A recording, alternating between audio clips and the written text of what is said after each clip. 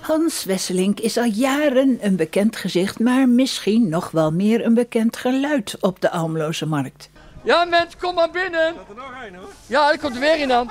Vorige week interviewde Avisie hem al over de coronaproblemen voor de weekmarkten. Mensen, kom gauw even langs. Wij, doen, wij, wij zijn gericht op veiligheid. Maar als je niet kunt, uh, u kunt ons bellen. Maar uh, ik heb graag dat je komt. Want het is altijd gezellig op de Almeloze markt. En hij deed natuurlijk zijn verkoop met verven.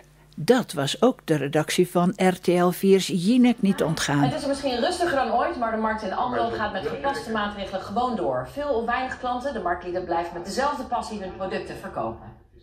Ja, mensen, lekker eten, niet vergeten. Mandarijn smaakt naar meer. Oh, dank u zeer.